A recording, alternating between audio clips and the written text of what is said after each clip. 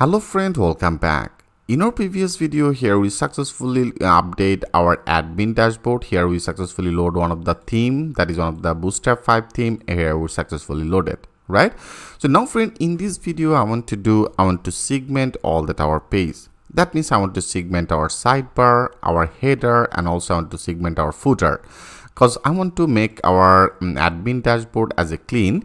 Here if you go to our admin dashboard here as I told you before they have uh, some of the nav sidebar right? There is a sidebar.html now that will be actually our sidebar. Here for segment it better in our admin area I want to create on the new folder and I just name it as a body.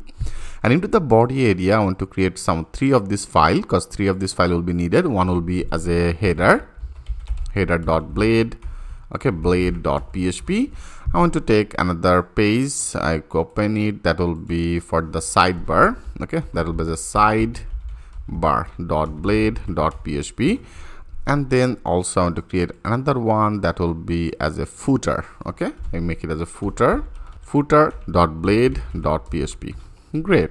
I simply created three of this file so now I want to do from our admin dashboard that is if you select it that is ended. You can see that is also they have some of the comment out. There is a sidebar. So now I want to do and to simply take it. I cut it from to this area. And now in our sidebar I want to do and to paste it.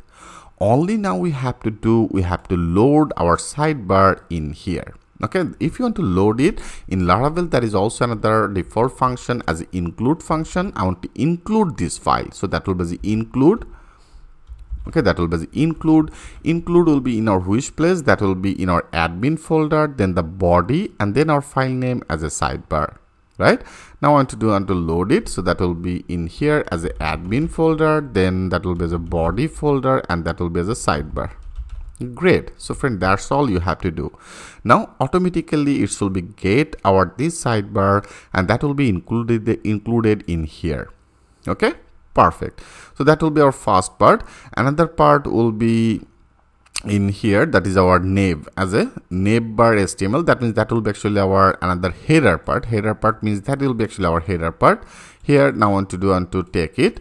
Now I simply select this nav nav is ended. I want to simply cut it from to this area. And now in our body and then I have already created another one as a header. I paste it okay?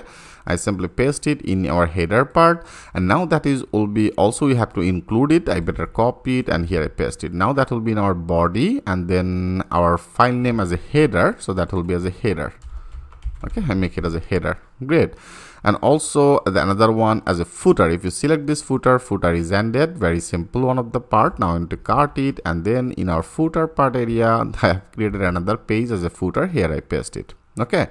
Now I want to also include it. That will be here. I paste it. Now our file name as a footer. Right? In our body area I have already created this file as a footer I hope friend everything is very clear. Now if you click as a save all, okay, now everything will be same. Like if you now refresh it, now that should be same. You, you can see this successfully load our sidebar, but it's now loaded from our another page that is also loaded from to the another page as a header and that is our footer.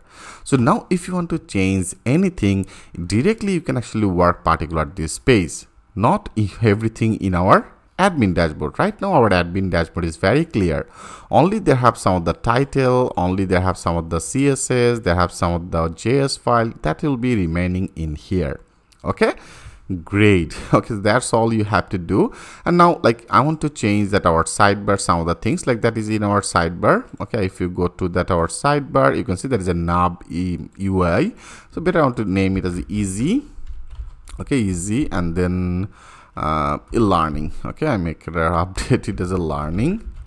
Learning. Easy learning. So now that should be updated. If you now go click a save all. And now if you refresh it hmm you can see it's successfully updated as easy learning. Great. Now a, a specific uh, some of the things if you want to change in our sidebar you can actually change it. So now if you also want to change a specific some of the things in our header. You can actually change it from to this position. That will be in our header area okay here you can see that is everything is in here. So which things will be needed? We will take it rather than everything. I will actually remove it. You can see there is a, some of the name and there are some of the logout. So here if you go you can see there is a logout switch user everything is in here. So if you want to change anything particular header you can actually change it into the header page and that will be our footer. So better want to also change it. That will be as a um, I want to use it as easy learning. Okay easy learning bd okay? Perfect. Uh, I want to change it as easy learning easy learning okay? So that will be easy learning. Also I want to change it as easy learning. That's all. Now if you click as a save all now that should be updated. If you now refresh it our footer should be updated here. You can see that is successfully updated great.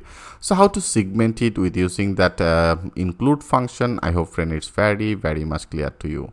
So our first job is we have to do we have to complete our um, logout functionality. Because here we have already installed that laravel Breeze and for the user by default we will get some of the logout functionality profile functionality right? But now we have to actually customize it everything so step by step everything will be very clear. Don't worry about it.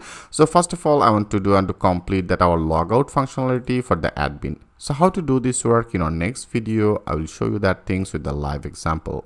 So thanks for watching and i will see you in the next video